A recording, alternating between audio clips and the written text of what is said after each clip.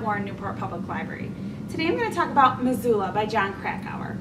Um, Jon Krakauer, you've probably heard of before. He's probably most well known for his book Into the Wild about a hiker who goes missing.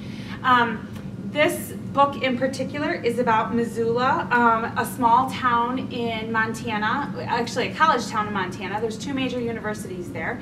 And back between the years of 2008 and 2012, there were 350 sexual assaults reported to the Missoula police, many of which were committed by UM football players.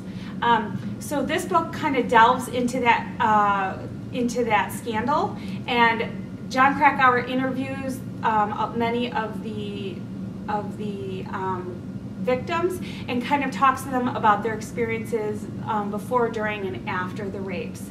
Um, what's fascinating about this book is not just the prevalence of acquaintance rape in Missoula, but the fact that it actually spans the United States and is taking place in college towns all over. Um, it's really scary and really interesting because so many people, as pointed out in this book, um, don't take it seriously. They think that acquaintance rape isn't really rape. In other words, if you're on a date with someone, you're basically giving permission. If you already know someone, you're basically giving permission. Um, if you're flirting with someone, you're basically giving permission.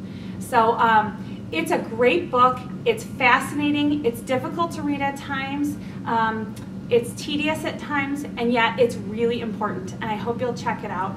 Missoula, Rape and the Justice System in a College Town by Jon Krakauer.